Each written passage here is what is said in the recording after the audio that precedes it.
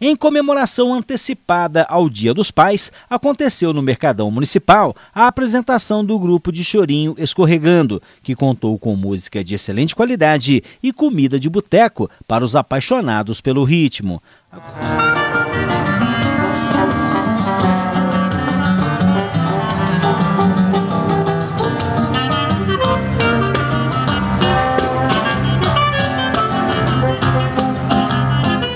Apresentação do Chorinho, seguida de show sertanejo com dupla convidada, aconteceu por meio de parcerias entre secretarias do município, tendo o coordenador de projetos, César Giuliani, falado sobre a apresentação voltada aos pais e um pouco mais sobre o projeto. É um jantar especial que é promovido pela Secretaria de Cultura em parceria com a Secretaria de Desenvolvimento Econômico, com o show do Grupo Escorregando, que é assim, para aquecer, para dar início, né, na, na, comemoração dos Dias dos Pais, que tem um final de semana inteiro aí para ser comemorado.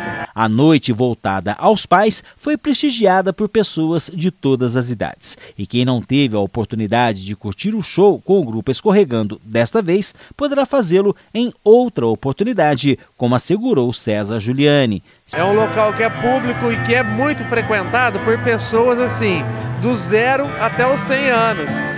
Como vocês estão vendo aqui, tem crianças aqui prestigiando, tem pessoas da nossa idade e tem pessoas da melhor idade. No dia 18 a gente vai fazer uma apresentação no Museu Rui Menezes, a gente tem feito algumas apresentações em setembro, a gente volta nas praças, a gente tem feito algumas apresentações nas casas assistenciais da cidade também. Então, quem não assistiu aqui hoje pode assistir no museu, em setembro pode assistir na praça. Então, quem quiser assistir, quem não está aqui hoje, pode assistir o Grupo Escorregando em várias outras oportunidades aí.